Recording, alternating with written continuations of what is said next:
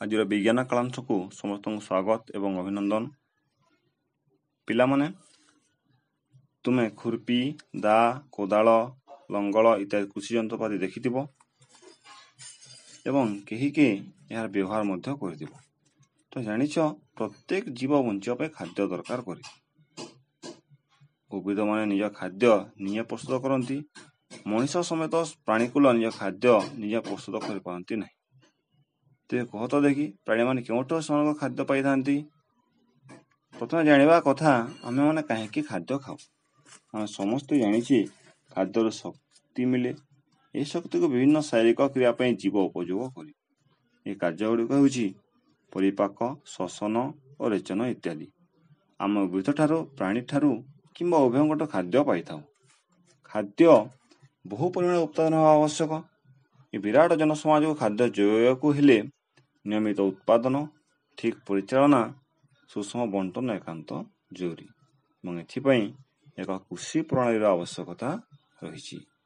ଖ୍ରୀଷ୍ଟପୂର୍ବ ଦଶ ହଜାର ବର୍ଷ ପର୍ଯ୍ୟନ୍ତ ଲୋକମାନେ ଜୟାବର ଭାବେ ଜୀବନଯାପନ କରୁଥିଲେ। ସେମାନେ ବିଭିନ୍ନ ଗୋଷ୍ଠୀରେ ରହି ଖାଦ୍ୟ ଅନ୍ୱେଷଣ ପାଇଁ ଏଣେ ତେଣେ ଘୁରି ବୁଲୁଥିଲେ। କଞ୍ଚା ଫଳ ପନିପରିବା ଖାଉଥିଲେ। ଖାଦ୍ୟ ପାଇଁ ପ୍ରାଣୀ ଶିକାର ମଧ୍ୟ କରୁଥିଲେ। ପରେ ସେମାନେ ଜମି ଚାଷ କଲେ। ଧାନ ଗହମ ଅନ୍ୟାନ୍ୟ ଶସ୍ୟ ଜାତୀୟ ପଦାର୍ଥ ଉତ୍ପାଦନ କଲେ। ଏହିପରି କୃଷିର ଆରମ୍ଭ ହେଲା।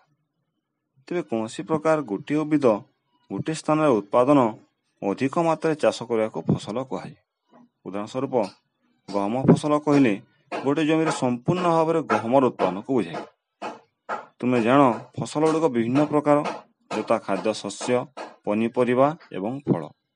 ଉତ୍ପାଦନ ଯେଉଁ ଋତୁରେ ହୋଇଥାଏ ସେ ଅନୁସାରେ ଏଗୁଡ଼ିକ ବିଭିନ୍ନ ଶ୍ରେଣୀରେ ଭାଗ କରାଯାଇଛି। ଭାରତ ଏକ କୃଷି ପ୍ରଧାନ ଦେଶ। ଏହାର ଜଳବାୟୁର ଅବସ୍ଥା ତଥା ତାପମାତ୍ରା ଆର୍ଦ୍ରତା ଏବଂ ବୃଷ୍ଟିପାତ ଆଞ୍ଚଳିକ ଭିତ୍ତିରେ ଭିନ୍ନ ଭିନ୍ନ ହୋଇଥାଏ। ଏହି ଅନୁସାରେ ବିଭିନ୍ନ ପ୍ରକାର ଫସଲ ଉତ୍ପାଦନ ଦେଶର ଭିନ୍ନ ଭିନ୍ନ ଅଞ୍ଚଳରେ ହୋଇଥାଏ। ଏ ବିବିଧତା ସତ୍ତ୍ୱେ ଯଦି ଉନ୍ନତ କିସମର କୃଷି ପ୍ରଣାଳୀ ଚିହ୍ନଟ କରାଯାଇଛି। ସେଗୁଡ଼ିକ ହେଉଛି ଖରିଫ ଫସଲ ଏବଂ ରବି ଫସଲ। ବର୍ଷା ଦିନେ ଚାଷ କରାଯାଉଥିବା ଫସଲକୁ ଖରିଫ ଫସଲ କୁହାଯାଏ। ଭାରତରେ ବର୍ଷା ଋତୁ ସାଧାରଣତଃ ଜୁନରୁ ସେପ୍ଟେମ୍ବର ପର୍ଯ୍ୟନ୍ତ। ଧାନ ମକା ସୋୟାବିନ୍ ଚିନାବାଦାମ କପା ଏ ଖରିଫ ଫସଲ ଅନ୍ତର୍ଭୁକ୍ତ। ରବି ଫସଲ। ଶୀତ ଦିନ ଉତ୍ପାଦନ ହେଉଥିବା ଫସଲକୁ ରବି ଫସଲ କୁହାଯାଏ। ଏ ରବି ଫସଲ ସାଧାରଣତଃ ଅକ୍ଟୋବରରୁ ମାର୍ଚ୍ଚ ପର୍ଯ୍ୟନ୍ତ ଚାଷ କରାଯାଏ। ଗହମ ବୁଟ ମଟର ସୋରିଷ ଏବଂ ରାଶି ଏହି ଫସଲ ଅନ୍ତର୍ଭୁକ୍ତ। ବ୍ୟତୀତ ବିଭିନ୍ନ ସ୍ଥାନରେ ଡାଲି ଜାତୀୟ ଫସଲ ଏବଂ ପନିପରିବା ମଧ୍ୟ ଗ୍ରୀଷ୍ମ ଋତୁରେ ଉତ୍ପାଦନ କରାଯାଏ। ଧାନ ପ୍ରଚୁର ଜଳ ଆବଶ୍ୟକ କରେ ଏଣୁ ଏହାକୁ ବର୍ଷା ଦିନେ ଚାଷ କରାଯାଏ। ଶସ୍ୟ ଉତ୍ପାଦନ ପାଇଁ କୃଷକ ଏକ ନିର୍ଦ୍ଦିଷ୍ଟ ସମୟରେ ବିଭିନ୍ନ ପନ୍ଥା ଅବଲମ୍ବନ କରିଥାଏ। ଯେପରି ଜଣେ ମାଳି ବଗିଚାରେ କିମ୍ବା ତୁମେ ତୁମ ଘରେ ଫୁଲ ବଗିଚାଟିଏ କରିବା ପାଇଁ କାର୍ଯ୍ୟ କରିଥାଅ ସେପରି କୃଷି ପାଇଁ ବିଭିନ୍ନ କାର୍ଯ୍ୟ ଆବଶ୍ୟକ। ଏହି ପ୍ରକାର କାର୍ଯ୍ୟକଳାପକୁ କୃଷି ପ୍ରଣାଳୀ କୁହାଯାଏ।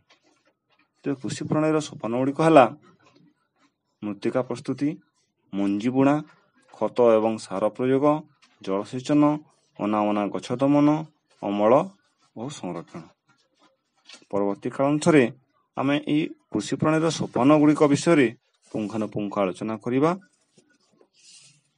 ବର୍ତ୍ତମାନ ତୁମ ପାଇଁ କେତୋଟି ପ୍ରଶ୍ନ ଯୋଗାଇ ଦିଆଯାଉଛି। ତୁମେ ଶସ୍ୟ ଉତ୍ପାଦନ ପରିଚାଳନା ପ୍ରସଙ୍ଗଟି ପଢ଼ିବ ଓ ସେ ପ୍ରଶ୍ନ ଗୁଡ଼ିକର ଉତ୍ତର ଲେଖିବ। ପ୍ରଶ୍ନ ଏକ ଫସଲ କହିଲେ କ'ଣ ବୁଝ? ଏବଂ ଫସଲର ପ୍ରକାର ଭେଦ ଲେଖ। ପ୍ରଶ୍ନ ଦୁଇ ଖରିଫ ଫସଲ ଓ ରବି ଫସଲ ମଧ୍ୟରେ ପାର୍ଥକ୍ୟ ଦର୍ଶାଅ। ପ୍ରଶ୍ନ ତିନି କୃଷି ପ୍ରଣାଳୀ ଗୁଡ଼ିକ ଲେଖ। ତେବେ ଆଜି ପାଇଁ ଏତିକି। ଧନ୍ୟବାଦ।